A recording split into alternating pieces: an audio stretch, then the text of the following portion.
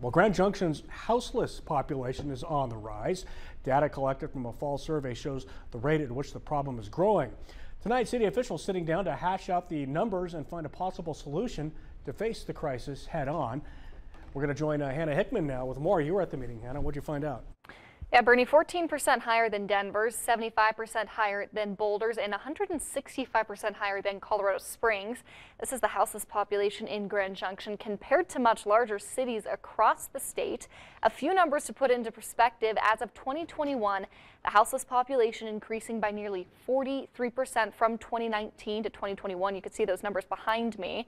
The percentage of those unsheltered in Grand Junction sits at 60% since 2021 and 70% for those experiencing chronic houselessness. The survey found the top five prioritized current needs. Those include affordable housing, showers and bathrooms, warm places to sleep, employment and physical health support. Other statistics factored into the survey were gender, ethnicity, veteran status. The city issued the help of volunteers to collect this data. In tonight's special workshop, as you mentioned, city officials went over the findings from today's released data. Those in attendance at tonight's meeting talked about systemic solutions being a contributing factor for the houseless population.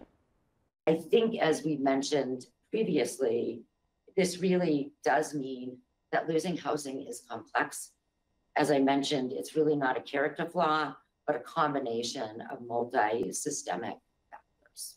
So one of the things we wanted to address is this myth that we have in our community that houselessness is a choice or that individuals are choosing to be unhoused. Um, and so what we know just from our research and the, and the conversations we're having in our community is that um, often it's not necessarily um, you're given a variety of choices and you choose to be unhoused. It's more that the options presented may not be right for that individual. The city asks us to use the term houseless due to the social stigma around the term homeless. Officials at tonight's meeting say they hope the survey also helps to break the stigma around houselessness.